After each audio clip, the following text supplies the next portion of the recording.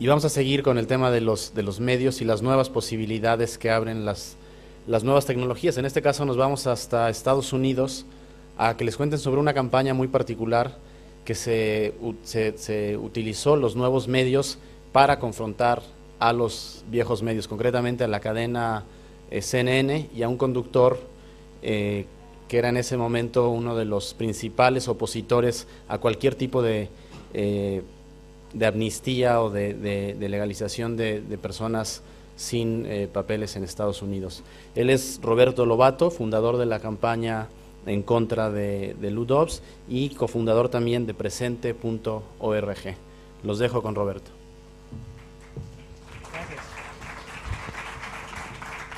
Hello, how are you? I'm going to start with a question. Voy a comenzar con una pregunta. How many of you watch, have watched CNN en español? CNN en español?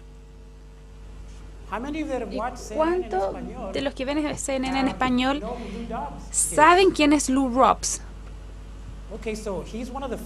Él es uno de los fundadores de CNN y siempre estaba en CNN, estuvo durante todas las noches, casi durante 10 años, y solo uno o dos de ustedes, y lo que no significa que en realidad CNN no lo tradujo Ludov al español para su consumo. Y eso es interesante. Primero que nada quiero tomar a Juanita. Que agradezco el tipo de, de periodismo que hacen Creo que como soy periodista me siento muy orgulloso de lo que um, hacen. Ahora, como no saben quién es Lou Dobbs, déjenme entonces que Lou Dobbs hable por sí solo.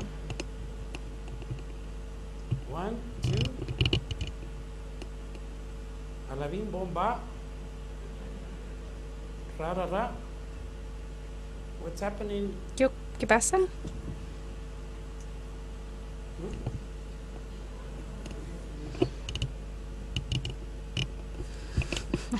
Bueno.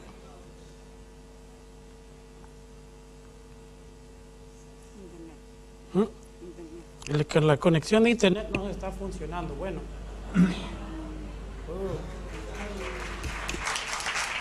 En todo caso, en ese clip de todas maneras, en ese video, Luke Dobbs daba ejemplo en el, del periodismo que él hacía y por el que pagaba CNN. De hecho, llamaba mentiroso, cobarde, y eso en televisión nacional, en uh, impreso. Me llamó una mosca, que en español es una pulga. Me dijo que era una pulga. Um, Entonces mi respuesta a eso um,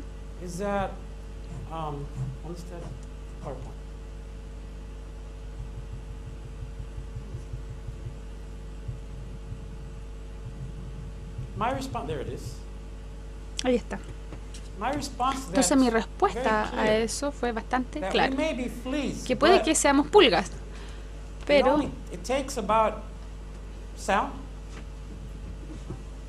Está con sonido. Pero toma como 100 pulgas o más para empujar a un tiro como Ludov en el abismo de los medios. Okay, obviously nos están saboteando. Pero ya vienen las tropas de refuerza. María Elena y Ramón Lobato, my parents, who uh, are from El Salvador. Que son del Salvador padres que son de Salvador, uh, que es un uh, país inspirador y trágico, como con, también tuvimos una eh, um, un, gobierno dictatorial, igual que en Chile. Pero le hacemos frente y le voy a hacer frente ahorita y voy a confundir a los traductores. Eh, él fue el voy a confundir a los traductores, estoy cambiando idiomas. Y también me enseñaron que ante todo América es un continente y que los americanos somos todos los que vivimos en este continente. A pesar de que yo nací ahí, mi, espíritu americano no es el de George Washington. Eh, les quiero hablar de nuestra campaña y el título de mi presentación es En pie y dedos de lucha, convertirnos en medios para darle miedo a los medios. Si los medios nos van a dar miedo a nosotros, tenemos que contraatacar. Eh, es un honor para mí estar con ustedes. Eh, hablar primeramente de cómo Fox, CNN eh, y otros medios en Estados Unidos han desarrollado modelos de negocio en la que ganan, que consiguen profit, ganancia económica de temores, temores a las diferencias raciales, temores a la globalización, temores a los inmigrantes, temores a los latinos y a los latinoamericanos, temores a América Latina. Como Lou Dobbs dijo una vez, por ejemplo, Mexico is our enemy. Y los mexicanos en Estados Unidos son el, símbolo principal de la latinoamericanidad y el temor hacia la latinoamericanidad. Oh, wrong way. So, ¿quién es Lou Dobbs? Fue uno de los fundadores de CNN eh, y siempre desde que él empezó a atacar a los inmigrantes, a los latinos, eh, nosotros eh, nos, nos, nos, dimos en lucha para pedirle a su destitución. Lastimosamente no nos escucharon por muchos años los de CNN. En su, y tiene que ver mucho porque este hombre era súper poderoso. en, su, en su momento de mayor apogeo eh, era, tenía un programa en CNN a las 7 de la noche y cada noche tirándole a los inmigrantes. Un programa de radio sindicado nacionalmente, columnas, columnas en periódicos en todo Estados Unidos, varios libros, invitado a dar discursos en, eh, instituciones prestigiosas y siempre su enfoque éramos nosotros y nosotros como enemigos. Por esta razón decidimos montar esta campaña, Buster Dubs es nuestro sitio. Entonces nuestro reto principal fue traducir a Dobbs, porque cuando lo escucha, cuando lo oyen hablar, él habla por sí mismo, sus hechos hablan por sí mismo y, no requiere mucho, pero recordémonos, al igual que ustedes, los latinos de Estados Unidos, la mayoría de los hispanoparlantes en Estados Unidos no tenían la menor idea de quién era Lou Dobbs. O es decir, que CNN estaba dándonos productos en inglés en las que nos odiaban, pero en español no la traducían. So they were having their cake and eating it too. Un dicho norteamericano. Eh, entonces nuestro reto fue ayudarle a esta comunidad sin voz, primero entender quién era su principal adversario. Y que su principal adversario realmente no era Lou Dobbs, sino este hombre, John Klein, el presidente de CNN y CNN en sí, que estaba obteniendo ganancias económicas de promover a este hombre que promueve el odio. Eh, por ese sentido, yo, yo, digo muchas veces que una de las principales amenazas a la democracia hoy día son los mismos, son, las corporaciones. En Estados Unidos ellos son ciudadanos, las corporaciones, y nos están robando espacio político a los ciudadanos de carne y hueso. nuestra campaña es un ejemplo de cómo contrarrestar esto. Entonces, es, y, sabíamos que CNN necesitaba tener acceso al mercado latino para su propia sobrevivencia, ya que somos 50 millones. Nuestra estrategia era muy simple, atacar la marca de CNN. Hablaba, hablaba anteriormente eh, Juanita de eh, la narrativa. Yo soy muy creedor en que la narrativa, el cambiar narrativas es fundamental en el trabajo de web en el trabajo político. La narrativa de las corporaciones se contiene en su marca, their brand. Los valores que ellos dicen promover los contiene en la marca, en su logo. Entonces, atacarlos ahí es donde hay que darle, apostarle. Entonces, atacamos de diferentes maneras la marca y dejar que Dobbs hablara por sí mismo para luego enfocarnos en John Klein y CNN, nuestros verdaderos adversarios y luego llegarle a los patrocinadores para decirles, bueno, ustedes están pagando el odio hacia 50 millones de personas. O se ponen claros o los vamos a poner claritos a ustedes. Eh, y, como el hombre este, Lou Dobbs, es muy volátil, nosotros usamos su volatilidad para hacerle el juro y, usarlo en contra de CNN. Eh, y para crear apoyo a nuestra campaña, para hacer crecer nuestra lista y también para sembrar contradicciones dentro del mismo CNN. Muchas veces cuando nos empezamos este tipo de campaña, podemos ver a nuestros adversarios, sean gobiernos, sean corporaciones, como que son anónimos e impenetrables.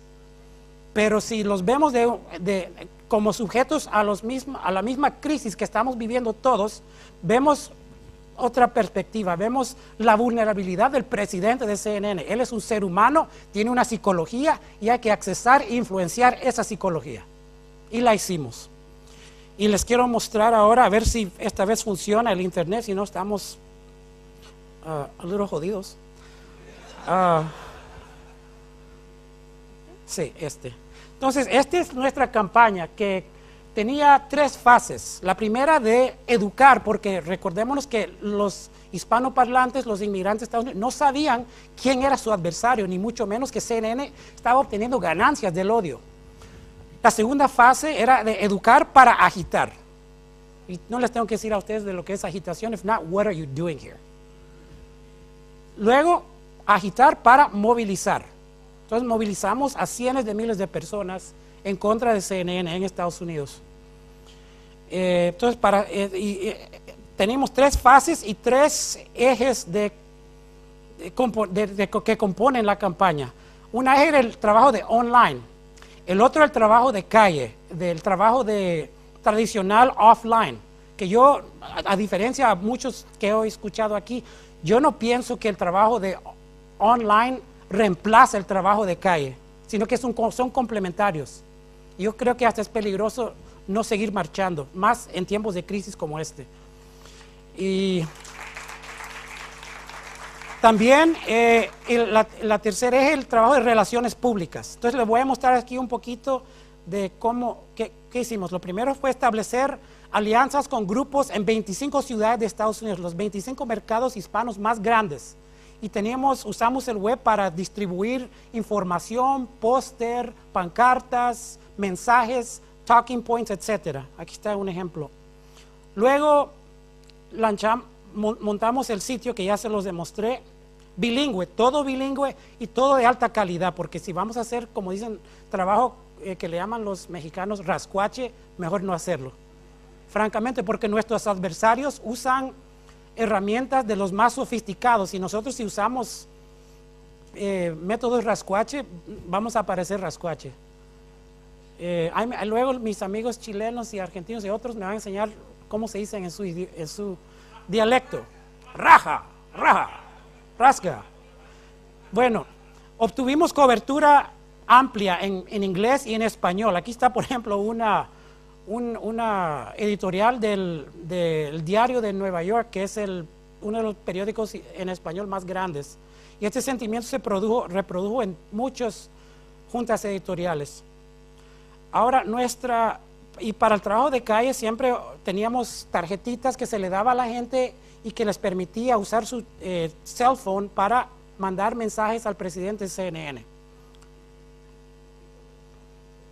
Ahora, eh, usamos los viejos medios para luchar contra los viejos medios. Y usamos, por ejemplo, la radio y anuncios públicos como este. ¿Han vivido usted o su familia experiencias de discriminación? El odio hacia los latinos está creciendo y una razón se debe a los mensajes negativos que circulan en los medios. Escuche. Mexico has become our enemy. México se ha convertido en nuestro enemigo. Illegal aliens are in the country, including many murderers and rapists. Hay extranjeros ilegales en el país que incluyen muchos asesinos y violadores. Esas son las palabras de Lou Dobbs, un locutor del canal CNN, quien dice mentiras en la televisión sobre los inmigrantes y latinos. Es hora de parar el odio. Únase a nosotros y dígale no a Lou Dobbs. Es fácil. Ahora mismo saque su celular y envíe un mensaje de texto al número 30644 con la palabra basta. No se requiere código de área. Una vez más, envíe un mensaje de texto al número 30644 con la palabra basta. Educar, agitar para movilizar. Muy, una fórmula muy simple. Una que usamos ya cuando llegaba el momento eh, clave de la organización, porque CNN había invertido millones de dólares en un programa que se llamaba, ready for this, Latino en América iban, tenía a Lou Dobbs y estaban promoviendo en inglés un programa sobre los latinos, un programa multimillonario. Entonces usamos el video para, eh, bueno, para promover nuestra estrategia.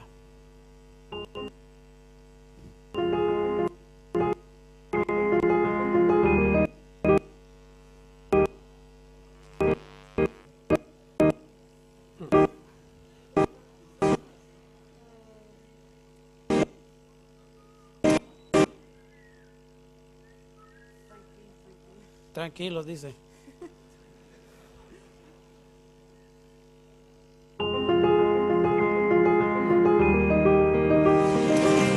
This October, CNN will take an unprecedented look. Oh. Pausa. Luego. Dale otra vez.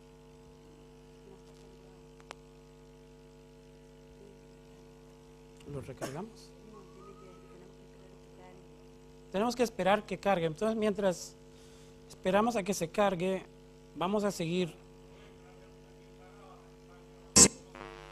Se financió por diferentes medios. Presente.org empezó con do- donaciones individuales, individuales con peso y el resto de nosotros. Entonces, justos, juntos eh, eh, logramos crear presente y hasta ahora que empezamos a conseguir eh, dinero de fundaciones, alguna, por ejemplo, como fundaciones como las que están aquí, que, que tienen un compromiso con las comunidades y sus luchas reivindicativas.